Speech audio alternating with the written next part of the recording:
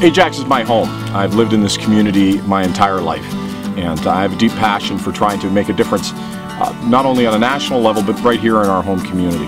And uh, whether or not it was as a member of parliament or my time as a municipal councillor at Durham Region, um, I've had a record of standing up and fighting for what matters to people in this community, standing up and fighting for what they care about.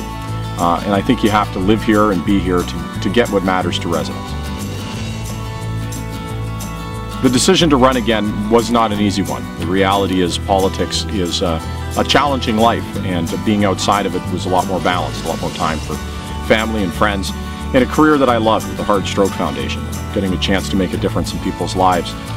But I look at what's happening in Ottawa and uh, I, I fundamentally feel I can't sit on the sidelines.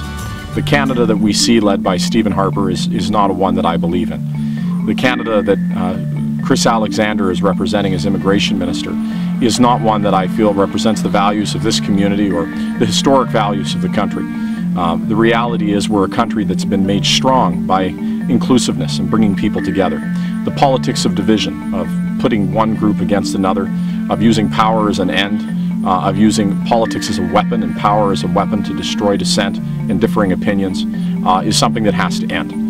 And for those of us that disagree with it, we have a role to step up and try to make a difference.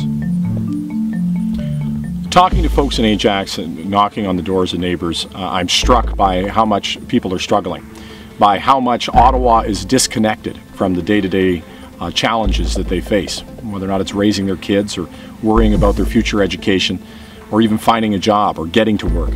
Uh, the reality is there are huge challenges uh, that, that families right here in Ajax are facing uh, that Ottawa isn't doing anything to, to deal with. Uh, people need uh, change that's going to work for them, that's going to create jobs and growth and opportunity, make sure that they have money to be able to spend to support their families and be able to enjoy a good life, and at the same time help contribute to the overall economy. Uh, they see a culture in Ottawa that's focused on power and uh, in the conservative self-interest.